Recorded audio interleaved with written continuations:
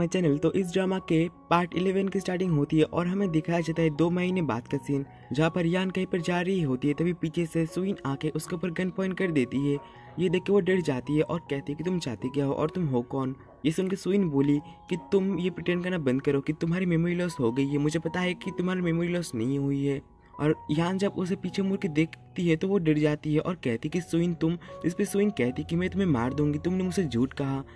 तब यहाँ पर इफान आ जाता है और इफान ऐसा करते हुए सुइन को देख लेता है और जान इफान को देख, उसे हेल्प करने के लिए कहती है। तो इफान आके सुइन के पास से गन ले लेता है और मिस्टर लिव को बुला के कहता है कि तुम यान को लेके रूम के अंदर जाओ। ये कह के वो सुइन को लेके अपने साथ चला जाता है, जिनके जाने के बाद यान मिस्टर लिव से कहती है कि, मिस्टर लिव, आप ये मत भूलिए कि आप गुड फैमिली के बटलर हो ना कि मू फैमिली के। ये सुन के मिस्टर लिव खुश होते हैं, कहने लगते हैं कि आपकी मेमोरी लॉस नहीं हुई है। ये सुन के यान उन्हें चुप रहने के लिए कहती है। अगले सीन में हम देखते हैं सुइन को जो कि कह रही होती है क्या तुम उस लड़की पर सच में बिलीव करते हो कि उसकी मेमोरी लॉस हो गई है।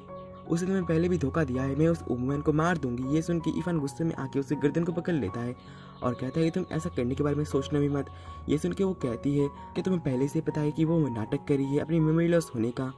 तभी वहाँ पर वो लिन को बुलाती है और कहती है कि इससे फ्रांस भेजने के लिए टिकट बुक करो। अगले सीन में हम इफान को देखते हैं, जो कि मन में अपने कह रहा होता है कि मॉम ने हमारे एनिमी को मार के मुँह मेंशन को दोबारा हासिल कर लिया है, लेकिन उसे मारने के बाद क्या मैं अब गलत हो गया हूँ? क्योंकि मैं भी उसकी तरह बन गया हूँ। तभी यहाँ पर यान आती है, यान उसके पास आके कहती है तुम्हारे दिमाग में चल क्या रहा है? जिसपे वो कहता है कि कुछ भी नहीं, तुम बताओ तुम्हें क्या चाहिए? जिसपे यान बताती है कि मेरा एक रिक्वेस्ट है क्या तुम उस रिक्वेस्ट के रखोगे? ये सुन इफान बोला कि हाँ तुम बताओ, बस तुम मुझसे दूर मत जाना। क्या ये सुन के वो कहती है, मुझे बस चर्च जाना है। तो वो कहता है कि ठीक है केयरफुली जाना। ये कह के वो जा रहा होता है। उसे जाते हुए यान देख रही होती है और अपने मन में कह रही होती है। फादर मुझ पर ट्रस्ट कीजिए, मैं इसे ज़िंदा नहीं छोड़ूँगी। दूसरी तरफ़, इफान इसे देखते हुए कह रहा होता है, मुझे पता है कि तुम कुछ भी नहीं भूली हो, तुम्हें सब कुछ याद है, तुम बस नाटक कर रही हो, अपनी मेमोरी लॉस्ट होने का। बस ऐसे ही मैं तुम्हें रिपे कर सकता हूँ। अगले दिन में हम देखते हैं, यान जाती है चर्च नियान से मिलने के लिए। नियान उसे एक चीज़ देते हुए कहता है कि ये रहा जो तुम्हें चाहिए। और यान उसे ले लेती है। तो नियान उसे कहता है कि तुम इफान को मार क्यों नहीं देते हो? जिसपे वो कहती है, मैं उसे ज़िंदा रख के उसे सब कुछ छीन लेना चाहती हूँ। उसके बहुत सारे सपोर्टर्स है, वो भी अगले सीन में हम देखते हैं गुम मेंशन का सीन जहाँ पर इरफान बैठा हुआ होता है और वहाँ पर मेंगा के कहते हैं कि आप सोइन को दोबारा अब्रोड क्यों भेज रहे हो? वो तो बस आपके बारे में वरीड हो रही थी कि आप उस यान के ऊपर दोबारा बिलीव करने वाले हो। उसने पहले भी झूठ बोला था। ये सुन वो कहता है, तुम क्या अपने मुँह को चुप रखोगे? क्या तुम्हें मेरे डिसीज़न पे कोई शक है जिसपे वो कहता है? तो आप उसे बताते क्यों नहीं हो कि उसके फादर ने आपके फैमिली को मारा था? ये सुनो वो कहते हैं, क्या तुम डायरेक्टली मरना चाहते हो?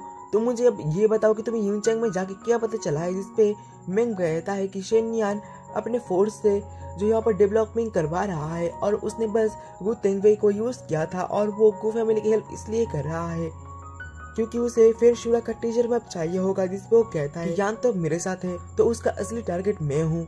अगले सीन में हम देखते हैं सुइन यान के पास जाके कहती है, तुम्हारे फादर के डेथ के बाद से तुम कुछ चेंज नहीं हो गई हो। ये सुन के यान कहती है कि तुम्हारा मतलब ये है ना कि मैं प्रिटेंड कर रही मेमोरी लॉस्ट होने का वो कहती है कि देखो, तुम्हारे फादर एक झूठा और शेमलेस पर्सन था और तुम भी वैसे की वैसी ही हो। ये सुन वो कहती है कि तुमने अभी क्या कहा? ये सुन सुइन कहती है कि मैंने कहा कि तुम्हारे फादर एक शेमलेस आदमी थे और तुम ऐसे प्रिटेंड कर रही हो कि तुम इफान से प्यार करते हो। आखिर तुम चाहते क्या हो? क्या तुम्हें नहीं लगता कि तुम शेमलेस हो? तुम्हारे फादर तो इफान के पैर तक परे थे, ताकि इफान तुम्हें एक गिफ्ट की तरह एक्सेप्ट कर ले। तुम्हारे फादर मर गए हैं, ये अच्छा ही हुआ है। ये सुन के यान उसके ऊपर नाइफ रख देती है। तब यहाँ पर लिन और इफान आ जाते हैं। इफान को देख सुइन कहती है कि इफान देखो, ये लड़की तुमसे झूठ कह रही थी। मैंने बस इसके, मैंने बस इसे इसके फादर के बारे में बताया और ये अब मुझे मारना चाहती है। तभी इफान लिन से कहता है कि, तुम इसे लेकर जाओ यहाँ से। तो लिन उसे यहाँ से ले जा रही होती है, जिसपे वो गुस्सा होके यान से कहती है कि, यान तुम ही याद रखना इफा ने तुम्हें हट किया है, लेकिन तुम्हारे फादर भी कोई भी इनोसेंट पर्सन नहीं थे। अगर तुम उसे हट करोगे तो तुम बाद में पछताओगे, ये याद रखना। उन लोगों के जाने के बाद इफान यान को हक कर लेता है और कहता है कि मैं तुम्हारे पास हूँ ना। अगले दिन में हम देखते हैं, यान जाती है नियान से मिलने के लिए। नियान उससे कहता है मुझे पता लगा है कि तुम्हारे पास फेर शुरा है तो तुम्हारे पास स्टेशन मैप भी होगा। वो मैप मुझे दो जिसपे वो कहती है, सब लोग इसी बारे में बात कर रहे हैं। मेरे फादर पंद्रह साल लगा दिए थे उस मैप को खोलने के लिए, लेकिन वो नाकाम रहे थे। ये सुन नियान बोल, अगर हमारे पास वो मैप होगा तो हम और भी ज़्यादा फोर्सेस को इकट्ठा कर सकते हैं, ताकि हम उससे आसानी से डील कर सके। ये सुन के वो कोई सोचने लगती है। अगले दिन में हम देखते हैं, यान को जो कि सोच रही होती है इफान लंबे टाइम से फेर शुरा को ढूंढ रहा है, लेकिन मैंने जब उसे फेर शुरा दिया था, उसने वो मुझे वापस कर दिया। क्या उसे ट्रेजर मैप नहीं चाहिए? फिर वो यही सब सोचते हुए उसी चीज़ को देख रही होती है जिस चीज़ को नियान ने उसे दिया था इफान को देने के लिए। फिर वो ड्रिंक लेके जाती है इफान के पास। उसी मेडिसिन को उस ड्रिंक में मिला के इफान को पीने के लिए देती है। तो इफान उस ड्रिंक को पी लेता है और कहता है, तुम्हें कुछ कहना है क्या? और उसे अपने क्लोज करते हुए कहता है कि, तुम्हें चाहिए क्या? ये सुन के यान कहती है कि, मिस्टर लियो कह रहे थे मुझे एक ट्रेजर मैप के बारे में जो कि मेरे फादर के फेर शुरा के अंदर है। क्या तुम उसे खोल सकते हो? ये सुन इफान बोला, क्या तुम्हें वो ट्रेजर मैप चाहिए जिसपे वो कहती है भला किसका इंटरेस्ट उस मैप के ऊपर नहीं होगा? ये सुन इफान बोला कि मुझे पता है कि उसे खोलते कैसे है तो वो कहती है कि क्या तुम मेरी हेल्प करोगे उस मैप को खोलने में? इस वो कहता है कि हाँ मैं तुम्हें ओपन कर सकता हूँ, लेकिन अभी मुझे ये कह कि वो बेहोश हो जाता है। ये तक कि यान डर जाती है। अगले दिन में यान नियान से पूछ रही होती है कि तुमने मुझे कौन सा मेडिसिन दिया था? मैंने जो तुम्हें मेडिसिन देने के लिए कहा था, उससे इफान की हालत ऐसी नहीं होती। ये सुन नियान कहता है कि उसने तुम्हारे फादर को मारा है। ये सुन वो कहती कि मैं जो पूछ रहा हूँ, तुम मुझे बताओ, वरना मैं वही मेडिसिन खा के उसके साथ ही मर जाऊँगी। फिर अगले दिन में वो मेंग और लिन के पास आके कहती है उस पॉइजन के बारे में। तो यहाँ पर मेंग उसके ऊपर गुस्सा करने लगता है, कहता है कि तुम्हें वैसे ये सब कुछ हुआ है। तो लिन उसे शांत करवाती है और कहती है कि तुम जाके डॉक्टर जैंग को बुला कर लेकर आओ। फिर वो चला जाता है और यान अंदर जा रही होती है तो लीन उसे रोक लेती है और कहती है कि तुम अभी तुम अभी मिस्टर मो के पास नहीं जा सकती हो।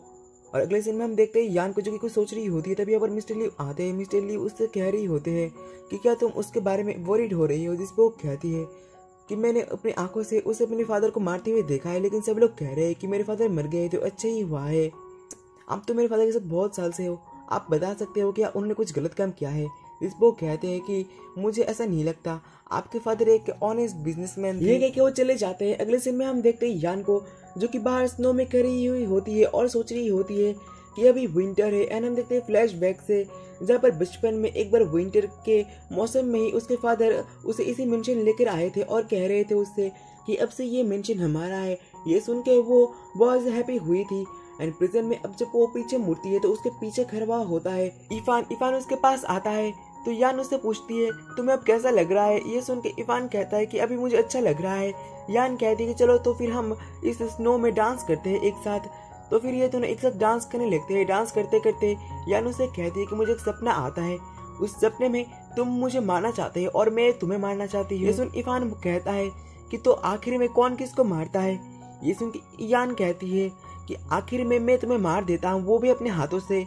ये सुन के वो कहता है कि ये तो बहुत अच्छा है कि तुम मुझे मार देते हो। तभी वो गिरने वाली होती है तो इफान उसे पकड़ लेता है। यान कहती है कि तुम मेरे से इतना ज़्यादा काइंड क्यों हो? सुन वो कहता है कि यार तुम भूल गई हो कि तुम मेरी वुमेन हो। अच्छा बहुत हुआ। तुम अंदर जाओ। बहुत ज़्यादा यहाँ पर ठंड है। अंदर जाके तुम रेस्ट करो। यान कहती है कि तुम भी अंदर जाके रेस्ट करो क्योंकि तुम अभी भी रिकवर हुए हो। अगले सीन में हम देखते हैं, यान सोच रही होती है बैठे बैठे किस रीजन से तुम मेरे ऊपर इतना ट्रस्ट कर रहे हो और तुम मुझे टॉलरेट कर रहे हो? साथ साथ तुम मेरी केयर भी करते हो।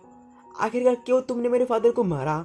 इसी के साथ ये पार्ट ये मेरी खत्म होता है। मिलते नेक्स्ट पार्ट के साथ, जो कि जल्दी आने वाला है। तब तक के लिए टेक केयर एंड बाय इसी के साथ ये